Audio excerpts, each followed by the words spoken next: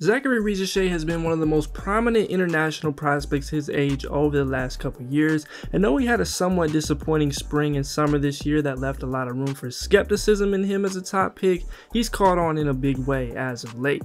He's a big wing listed somewhere between 6'8 and 6'10 with a slightly positive wingspan and youth on his side, and what he's shown for Bourg this year as a shooter with good fluidity and legit defensive impact has made him an easy prospect to like and only increased his stock significantly.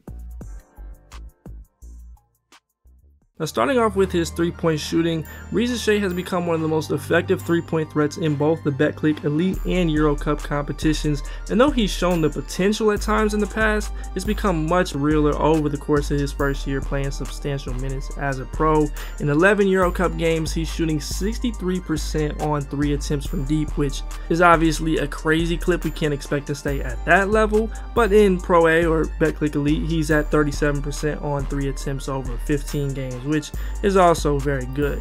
He's mostly a spot up and catch and shoot guy, but within that he's been good on shakeups and just making himself available for his teammates moving around the perimeter, and he's also had a few movement looks in there. Now, he has a long ways to go there before you describe him as a movement shooter or anything like that, but he's at least made you think about the possibility. I am at least curious to see where the shot goes over this next half of the season given he's hovered around 30% across levels the last couple years, but right now it looks like he's turned the corner and there's reason to be confident in him, and this is a very important piece for his value at the NBA level. Soit une première défaite à, à domicile, soit une première défaite à l'extérieur. Effectivement pour... Euh... se ressort. Zaccharie on a l'impression. Roland vraća za Riza Šea, Riza Še se diže na tri.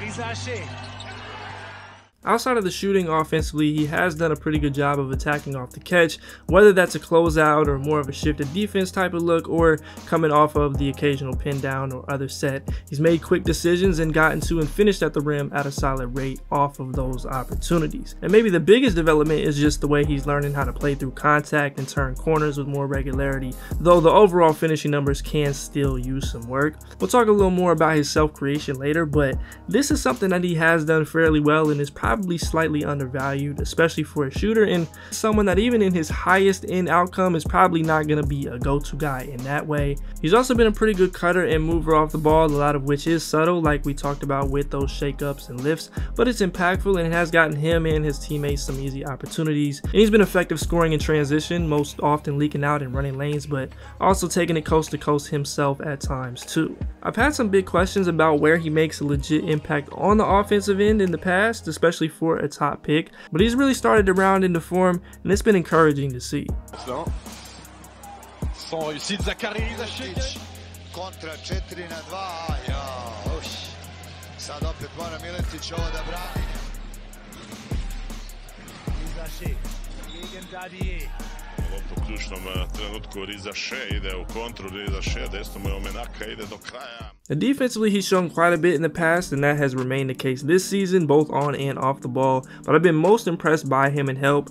His awareness and positioning there have been excellent. He's frequently impressed as the low man, whether it's tagging the roller or pre-helping and closing out the shooters. He's done that at a high level. He's also been sharp on their doubles and help on post-ups. He's rotated well and continued to show that he's someone that can give you at least a little help side rim protection and make some plays in passing lanes for easy points. Now, of course, he's not perfect, but you'll quickly notice how frequently he's in the right spots, which is great for a player this young.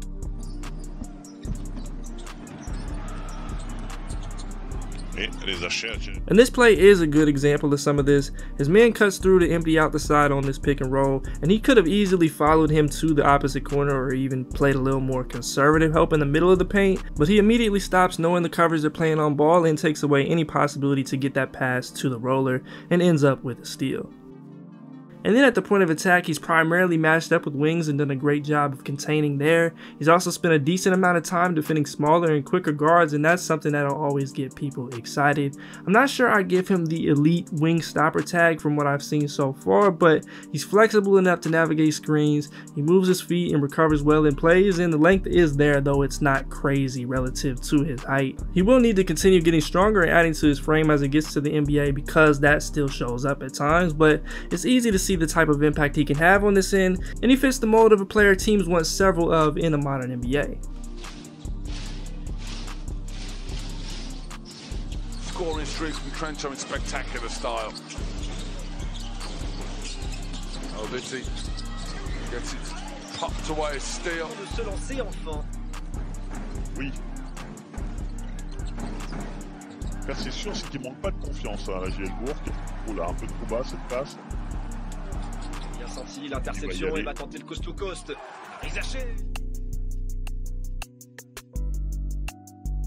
One of the bigger questions going forward for Risacher is in his ability to create for himself in a substantial way, especially in the half court. Like we mentioned, you'd like to see his finishing improve a bit there. Those numbers haven't been good for someone his size yet, though he has made some progress. And he's still yet to prove himself as someone you trust to create an advantage or consistent good looks against set defenses. The counters aren't really there yet, even on some of the closeout attacks, and he's not someone you trust to initiate offense either. Now, I don't think that's necessarily going to make or break him as a player, nor would I be drafting him for that reason. But even in this class, it could be important in the context of drafting him over some others in the top three to seven or eight, depending on where you have him. Now he has now he has gotten better here. He's been less passive, he's gotten stronger, and he has these flashes of step backs and dead or pound dribbles into jumpers. He's had a couple transition pull-up threes that'll have you imagining the possibilities, especially given his fluidity. But there's nothing concrete enough to really buy into at the moment. So the question remains with him as a player.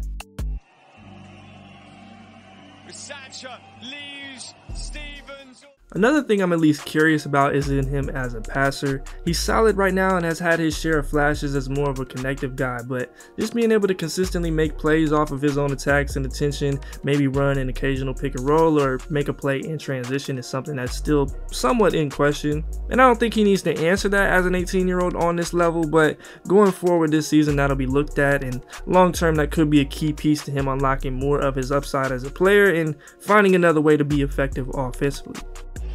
Morgan wird freigespielt und der darf nicht so. Risacher à l'opposé sur Jaquan Lewis pour tenter de répondre. Oui, Lewis. Ça c'est bien joué aussi. Free, blocked off Kokela this time. Back out, they'll try and upgrade to a three. Mike from the corner. In terms of future matchups, I'll be interested to see him go up against Tidjane Salaün again, who is trending towards the lottery right now. He'll have some other matchups against Melvin Ajinça and Pacôme Dadiet, two other Frenchmen with major draft interest, and then seeing him match up or at least spend some time on guards like Mike James, Elie Okobo, Frank Jackson, and Frank Mason should all be another good look at his potential there at the point of attack if he's given the opportunity. Risacher is also another second generation pro as his dad Stéphane played in the EuroLeague and helped France win silver at the 2000 Olympics. The way Zaccharie Risacher has been playing this season has made him someone that's going to be hard to keep out of the top half of the lottery. Now, I guess that he doesn't continue to shoot it as well as he has, but the production and the progress he's made there as a 3-and-D wing with good size is a pretty safe archetype of player, even with some of the questions that still exist in terms of rounding out the rest of his game. I appreciate y'all for watching this video. If you enjoyed, please be sure to leave a like, subscribe if you are new, and comment down below what you think of Zaccharie Risacher's game and where you would take him in the draft. As always, I'm Keandre, this is Hoop Intellect. Until next time, I'm out.